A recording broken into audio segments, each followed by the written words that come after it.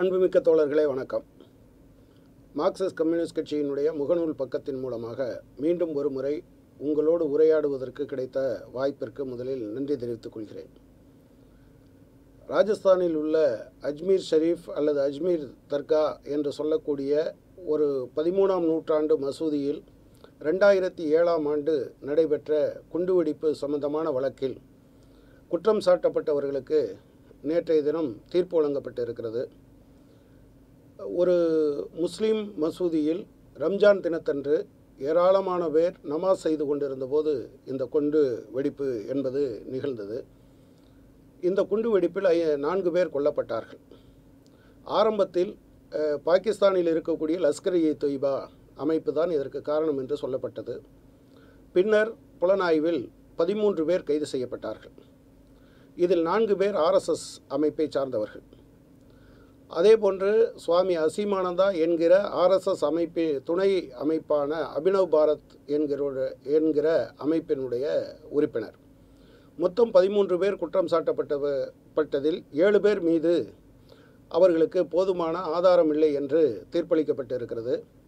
மூன்று பேர் இன்று வரையிலும் தலைமறைவாக இருக்கிறார்கள். ஒருவர் கொ- கொலை செய்யப்பட்டார் இடைப்பட்ட காலத்திலேயே. இரண்டு பேருக்கு ஆயுள் தண்டனை விதிக்கப்பட்டிருக்கிறது. ரெண்டு பேரும் ஆர்எஸ்எஸ் அமைப்பின் அமைப்பினுடைய உறுப்பினர்கள். இதில் அசிமானந்தா விடுவிக்கப்பட்டிருக்கிறார்.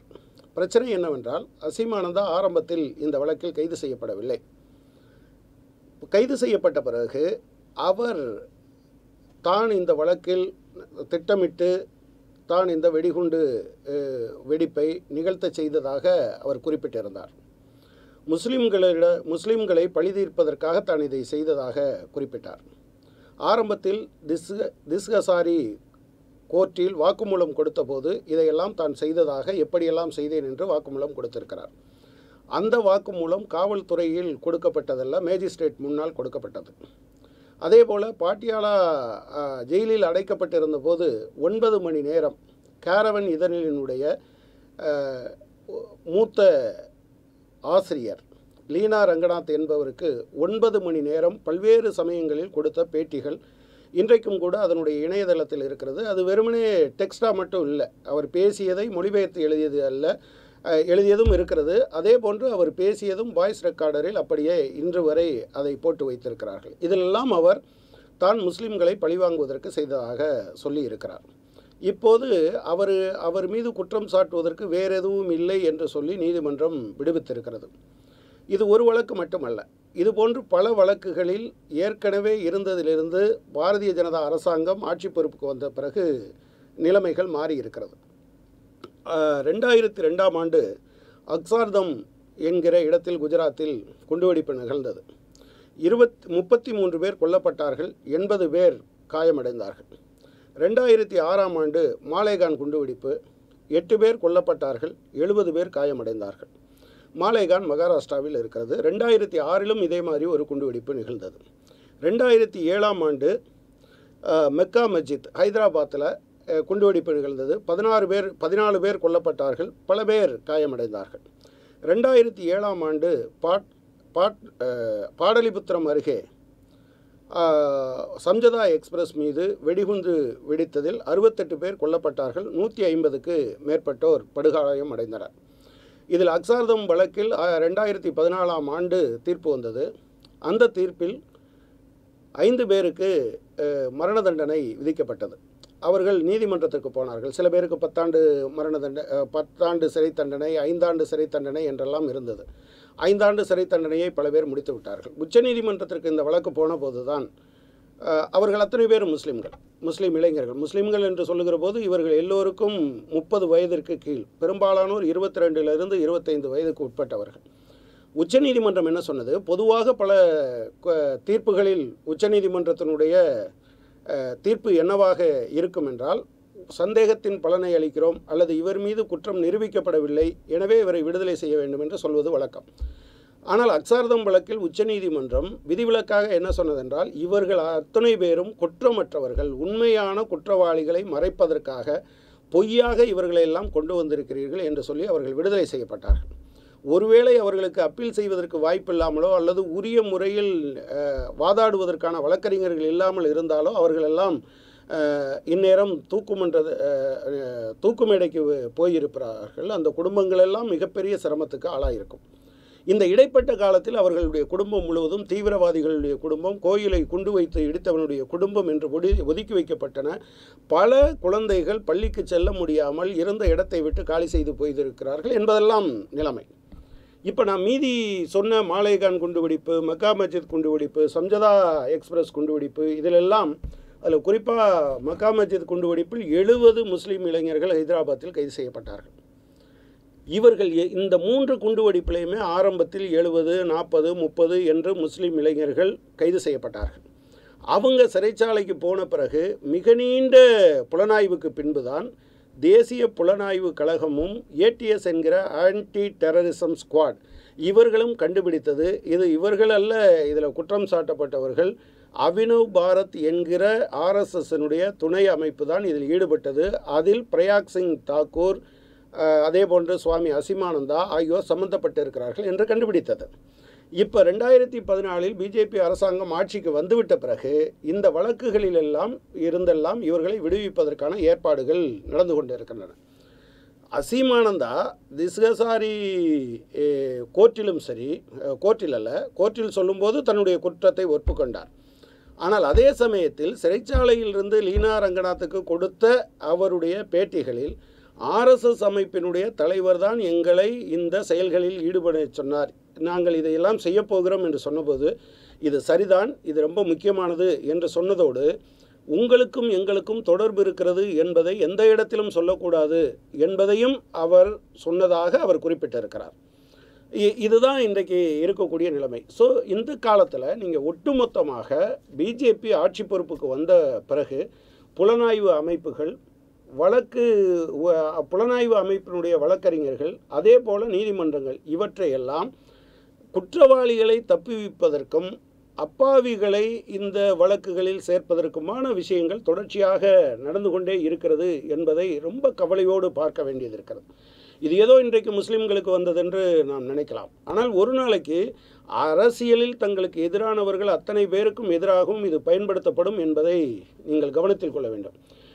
நம்மில் பல பேர் நினைவில் கூட இல்லாத ஒரு விஷயம் இருக்கும். சராபதின் என்கவுண்டர் வழக்கு. ரெண்டாயிரத்தி ரெண்டுக்கும் ரெண்டாயிரத்தி ஆறுக்கும் இடையில் நரேந்திர மோடிக்கு எதிராக அவரை கொலை செய்ய வந்தார் என்று சொல்லி இருபத்தி ரெண்டு இளைஞர்கள் இருபத்தி ரெண்டு இளைஞர்களும் யுவதிகளும் போலி என்கவுண்டரில் கொல்லப்பட்டார்கள்.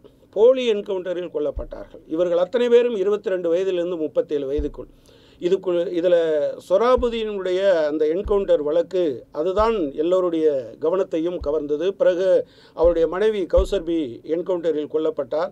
இவர்களுடைய நண்பராக இருந்த பிரஜாபதி கோர்ட்டிலேயே கதறினார். என்னை போட்டு தள்ளப் போகிறார்கள் என்று. அது சொன்னது மாதிரியே அதுக்கு பின்னால் அவரும் என்கவுண்டரில் கொல்லப்பட்டார். இப்படி இருபத்தி ரெண்டு பேர் கொல்லப்பட்டார்கள்.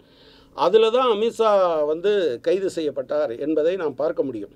ஆனால் இன்றைக்கி வரை என்னன்னு சொன்னால் முதல்ல அதன் மீது விசாரணையே நடக்கலை. பிறகு குஜராத்து சி உச்சநீதிமன்றம் தலையிட்டு நீங்கள் இதை பதிவு செய்ய வேண்டும் என்று சொன்னது. குஜராத்தில் அவங்க வழக்கு நடத்தினாங்க. குஜராத் அரசாங்கம் அவங்களுக்கு ஒத்துழைக்கலை.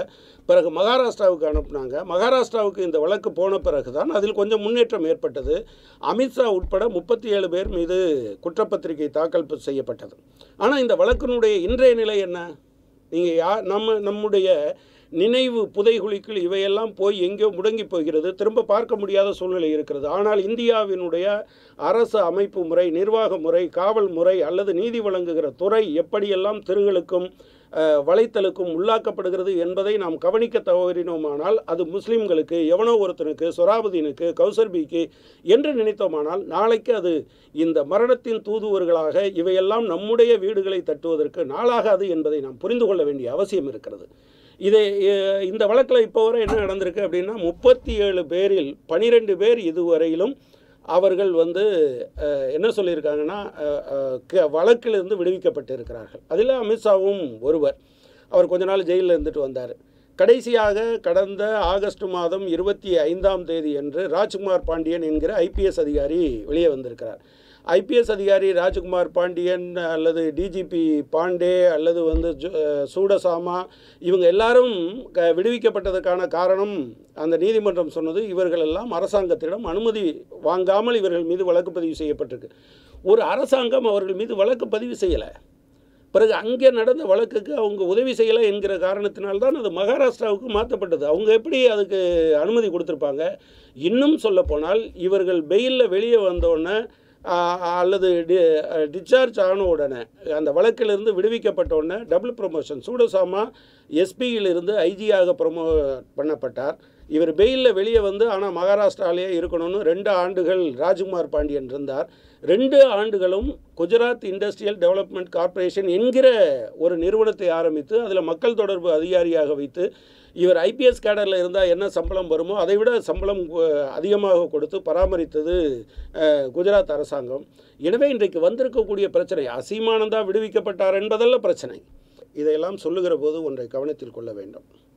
நான் முதல்ல ஆரம்பிக்கும் போது அஜ்மீர் ஷரீஃப் தாக்குதல் விவகாரத்தில் நான்கு ஆர்எஸ்எஸ் உறுப்பினர்கள் மீது குற்றம் சாட்டப்பட்டது. இரண்டு பேர் தண்டிக்கப்பட்டு இருக்கிறார்கள் ஒருவர் இறந்து போனார். மூன்று பேர் தலைமறைவாக இருக்கிறார்கள் என்று சொன்னேன். இதில் பார்க்க வேண்டிய விஷயம் என்னன்னா எங்கு குண்டுவெடிப்பு நடந்தாலும் முஸ்லீம்கள் தான் காரணம் என்று சொல்லுகிற ஆர்எஸ்எஸ் அமைப்பினுடைய உறுப்பினர்கள் தான். நீங்கள் மக்கா மஸ்ஜித்தில் தொடங்கி மாலைகான் சம்ஜதா எக்ஸ்பிரஸ் அஜ்மீர் தர்கா என்று ஒவ்வொரு இடத்திலும் தாக்குதல்களை நடத்தியிருக்கிறார்கள் என்பதை கவனத்தில் கொள்ள வேண்டும். நீங்கள் இதனுடைய தொடர்ச்சி தான் எதில் வருகிறது அப்படின்னு சொன்னால் கருத்து மாறுபாடு உள்ளவர்களை கொன்றொழிப்பது. அது கருத்து தளத்தில் செயல்படுகிறவர்களாக இருந்தாலும் கூட. அது காந்தியில் தொடங்கி கல்பர்கி பன்சாரே தபோல்கர் என்று இது இது நீள்கிறது. இந்த பட்டியல் நீள்கிறது. ஒரு கொலையை கொள்கையாக ஒரு அற ஒரு ஒரு நிறுவனம் வைத்திருக்க முடியுமா? ஒரு அமைப்பு வைத்திருக்க முடியுமா? அது வந்து ஒரு கலாச்சார அமைப்பா? அது ஒரு அரசாங்கத்தை நடத்துகிற கட்சிக்கு வழிகாட்டுவதாக இருக்கிற போது எத்தனை கடுமையான எதிர்காலத்தை இந்தியா சந்திக்கப் போகிறது என்பது. அதனுடைய தொடர்ச்சி தான் நீங்கள் வந்து யோகி ஆதித்யநாத். நீங்கள் இன்னும் கொஞ்ச நாளைக்கு பின்னால் நீங்கள் பார்க்க போகிறீங்க மோடி ரொம்ப நல்லவர். ஆதித்யநாத்தோடு ஒப்பிடுகிற போது மோடி ரொம்ப சாஃப்டாக சொன்னார் என்று நாம் சொல்ல போகிறோன்னு நான் நினைக்கிறேன். ஏன்னா நீங்கள் வந்து வாஜ்பாயும் அத்வானியும் இருக்கும்போது வாஜ்பாய் நல்லவராக இருந்தார். அத்வானியும் மோடியும் வந்த பிறகு அத்வானி மாடரேட் போன்ற முகத்தோற்றம் காட்டப்பட்டது. இப்போது ஆதித்யநாத் வந்துவிட்டார். இன்னும் கொஞ்சம் காலம் கழித்து இவரோடு ஒப்பிட்டு நீங்கள் மோடி ரொம்ப நல்லவர் என்று சொல்கிற காலம் வரும். இப்படிப்பட்ட நிலைமையை நோக்கி போகிறோம் என்பது இந்தியாவினுடைய ஒட்டுமொத்த சிவில் சமூகத்திற்கும் இருக்கக்கூடிய மிகப்பெரிய ஆபத்து என்பதை புரிந்து கொள்ள வேண்டும்.